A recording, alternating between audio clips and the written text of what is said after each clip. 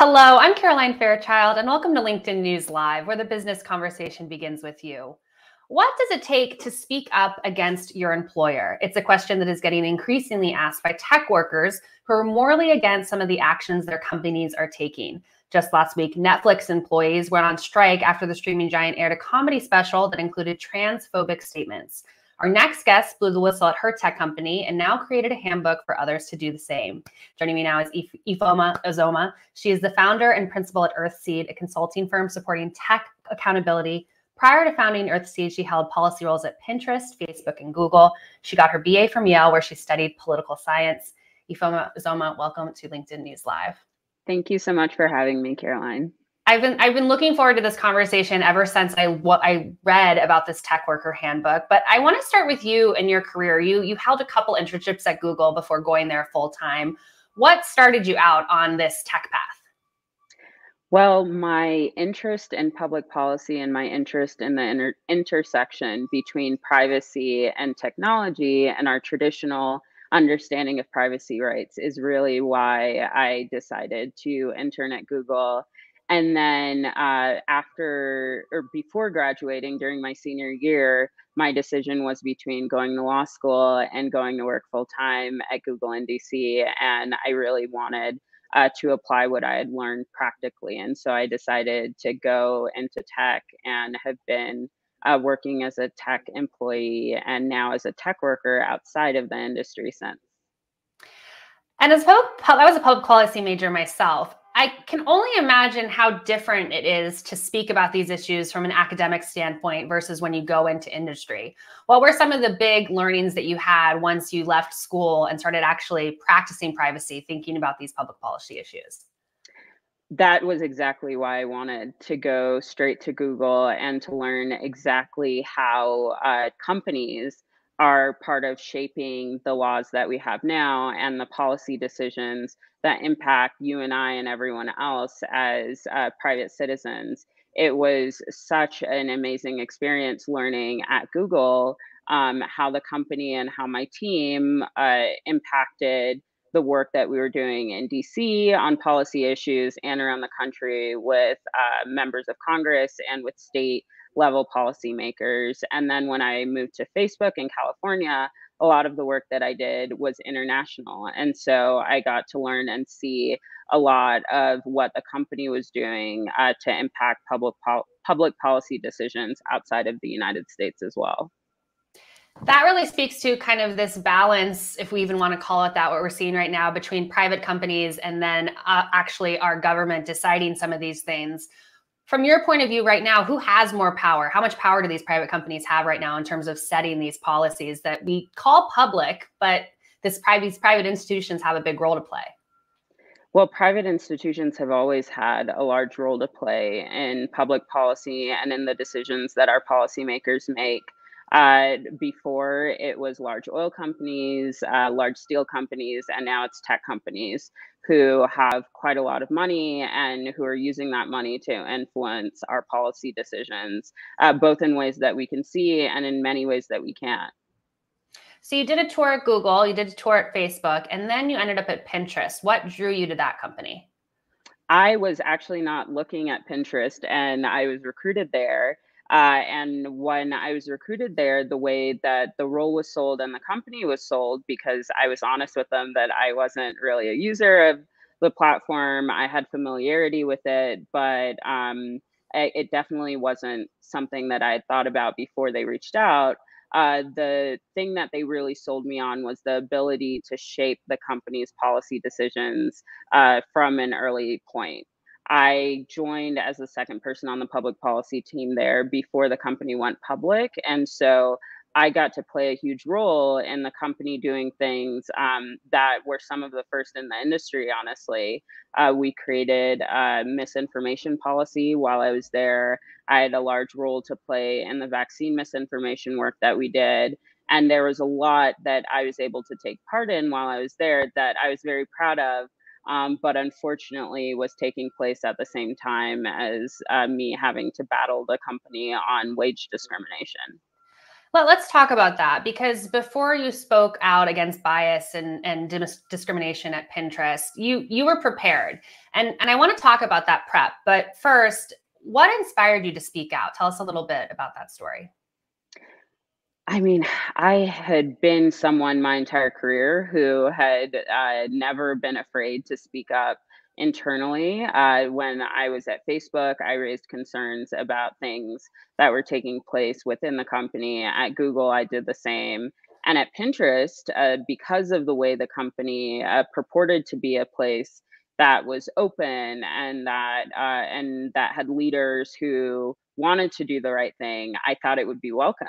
And so to be in a position where I had not found myself at Facebook or at Google, but I was at a company that claimed to be doing things better, uh, was really awful. And I was living sort of a double life where I would have interviews with reporters about the work I was doing that I was so proud of and still am.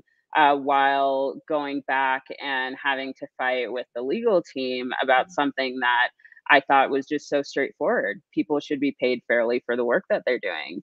And so when I was pushed out at the beginning of the pandemic, and then uh, a few months after being pushed out, saw Pinterest release a statement saying that the company cared about Black lives and Black employees and was going to do all of these things to show that they cared.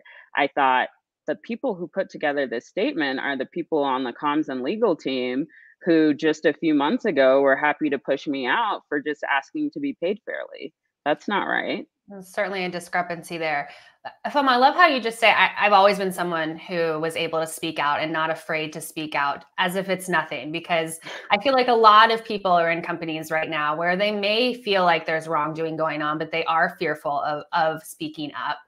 What were some of the things that you did to prepare for that moment so that you weren't afraid of what the what might happen after? Well, I was definitely still afraid um, because it's not a small thing to uh, break an agreement with a company uh, that is worth billions of dollars and could sue you. I mean, even if a case is eventually thrown out of court, uh, a lot of money is spent in the lead up, and that's money that I just didn't have. And so I had a conversation, a very frank one, with my attorney where he laid out all of the risks that I was going to be taking. And I said to him, This is something that I think is right. I'm acknowledging the risks and I am not eager to see them play out, but it's a decision that I've made and it's a decision that I'm moving forward with. And so what we did was um, just came out the smartest way to do it. So when I uh, wrote the tweets, that I used to come forward initially. I had him review all of them just to make sure that I wasn't uh, inserting my opinion at any point. Anything I was saying, I had documentation to prove uh, was true. And all of that ended up being really important because the reporters who I spoke to after uh, posting those tweets wanted to see all of the documentation that I had. And uh, that ended up helping me out being organized and being prepared for that moment because the company did try to claim that what I was saying wasn't true. So you lawyered up my family of lawyers would be happy about that. They're probably listening into our conversation now. And you had these relationships with journalists, which I'm, I'm happy about as well. But a lot of tech workers, they don't do this before they speak up. And uh, that's what your tech worker handbook that you've created is trying to do create resources for other workers who may want to do what you did. Walk us through why you put this handbook together and what it provides. The handbook uh, came about, and the idea for the handbook uh, as a result of the hundreds of people who reached out to me uh, in the days after I went public. And then in the months since, I've heard from probably thousands of people, both tech workers and people outside of the industry, who have wanted advice on everything from how to seek legal advice uh, to how to speak with reporters, how to establish the right terms on which to have a conversation with reporters and I am so happy to answer people's DMs, uh, whether they reach out to me on LinkedIn or Twitter. Uh, some get my number from friends of friends and text me uh, directly, and I will continue to respond to people. But it's not a scalable way to provide advice, and not everyone is going to feel comfortable reaching out to someone they don't know to ask for advice. And so I wanted to work with other partners, experts in the field, experts in uh, legal counsel, experts in working with the media, experts in security, and collect that information in a way that is freely accessible for people across the industry uh, and from the feedback that I've received since outside of the industry as well. What has been the feedback to date? Are, are you getting a lot of responses, people who are excited about using this resource? Uh, many, many, many. Uh, uh, the thing that's been most encouraging to me is hearing from uh, whistleblowers from the last decade who have tweeted and reached out to me personally to say that they are so grateful that this exists now and they wish that they had a resource like this when they spoke up. Uh, people like Ellen Pao and uh, Claire Stapleton and Meredith Whittaker and others have commented about the need for resources like this. Uh, and it's not, I say, even on the handbook's homepage, it's not sexy work to create resources. It's not uh, glamorous to put together uh, a glossary or a bunch of information uh, that's helpful to people, but it is really the foundational piece that a lot of folks need because not everyone who ends up in a situation like the one I was in is going to have had uh, the policy or comms background that I did. Ifeoma, you're doing a lot of quote unquote unsexy work, but that's the important work, I think. I see a question actually in the stream right now about the Silence No More Act, which you were central to getting passed in the state of California. Walk us through what it is and what it means and how you started working with legislators in California to get that passed. Yeah, so we worked with, uh, I was a co sponsor team with the California Employment Lawyers Association and equal rights advocates. And we worked with uh, Senator Connie Leyva, who is just a hero of mine, uh, to get this bill passed in California. And we're so grateful that the governor signed it a few weeks ago. So it'll go into effect January 1st.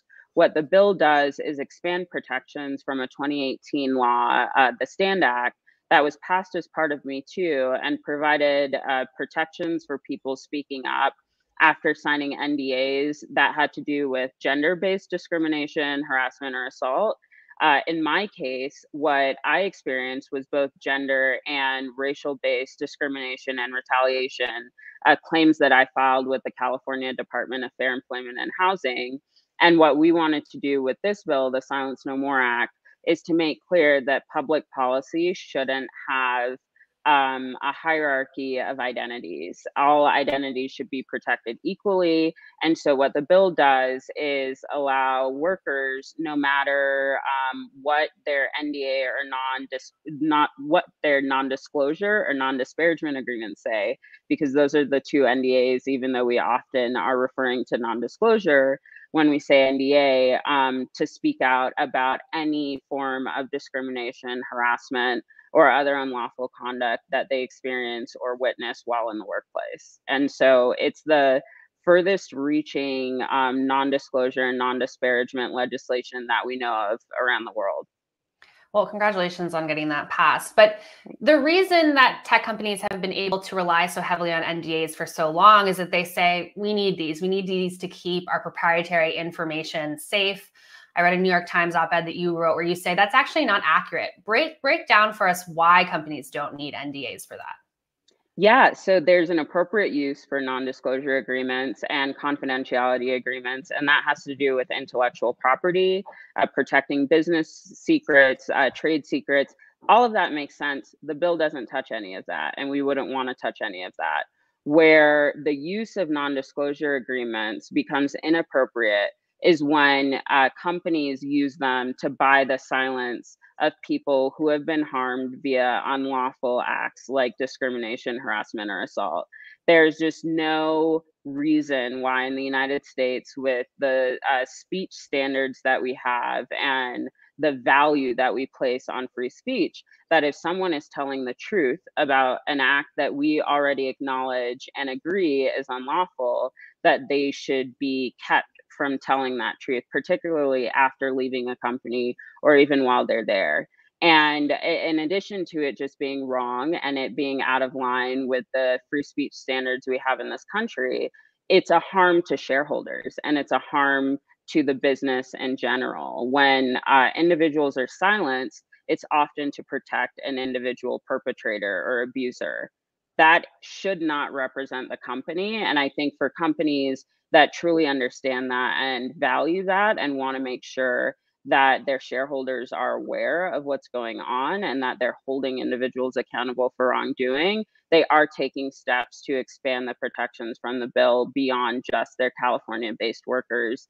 Um, and I'm really proud of companies like Expensify, whose CEO, David Barrett, uh, agreed to do it as part of a conversation like the one we're having right now. I know it's been fairly recently that this was passed, but I'm wondering if you've already seen the ripple effects. And if those ripple effects are, are going to be made later down the road, what are you hoping that they are?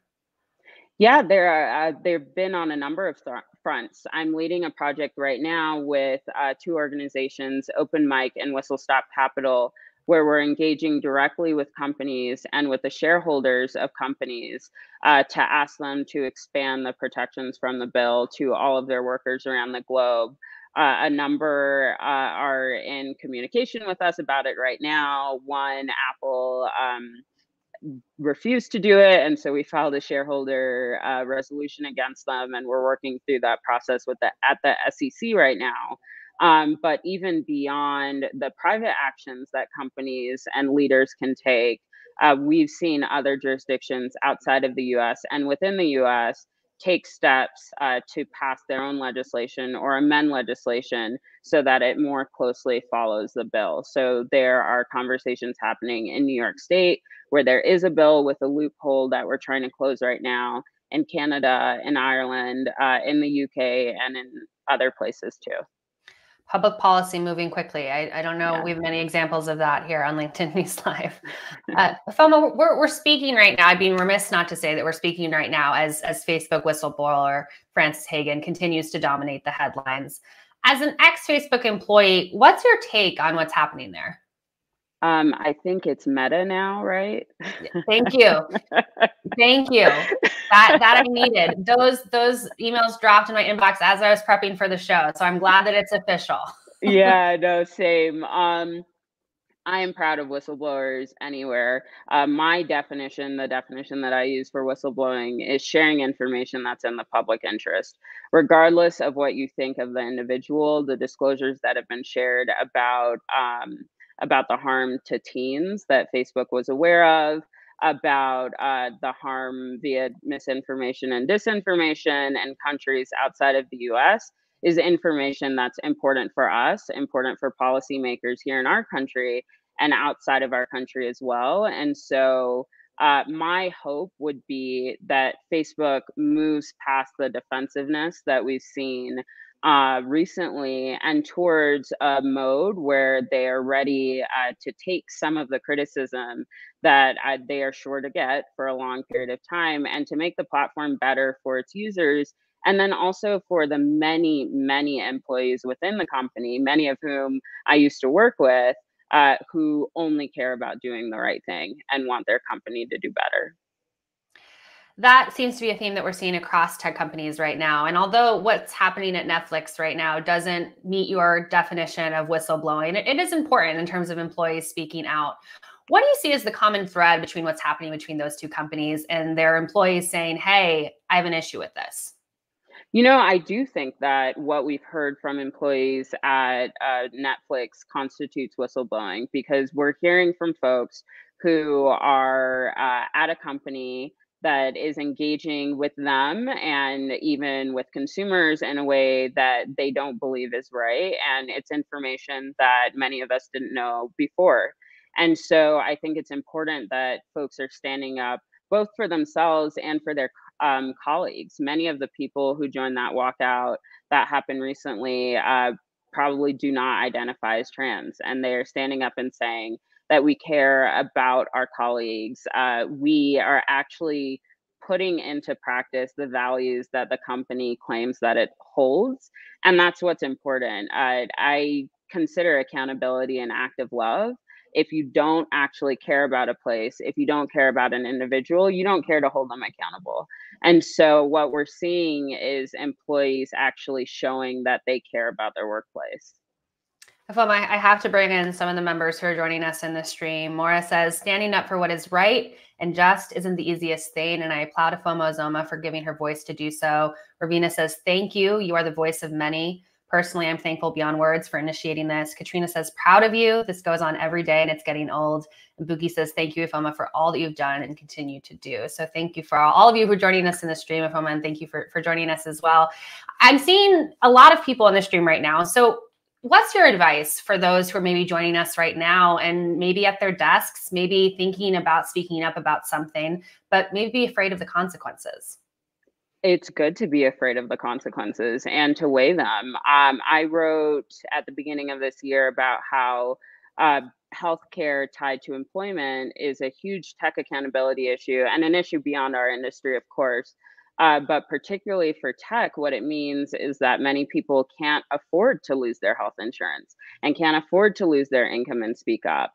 If I uh, had had dependence on my health insurance while I was at Pinterest, I probably never would have spoken up or even hired a lawyer because I knew that hiring a lawyer to defend myself probably meant the beginning of the end of my time at the company. Uh, since leaving Pinterest, I've paid $900 a month up until last month uh, to maintain access to my insurance. There are real costs to doing this. And I think as a society and as a community of broader tech workers and people who care about the industry, we need to provide supports for people who decide to speak up. But those who speak up should do so uh, as aware as one can possibly be of what the costs are both to you and your family when you become a public figure your family becomes targets too unfortunately mm.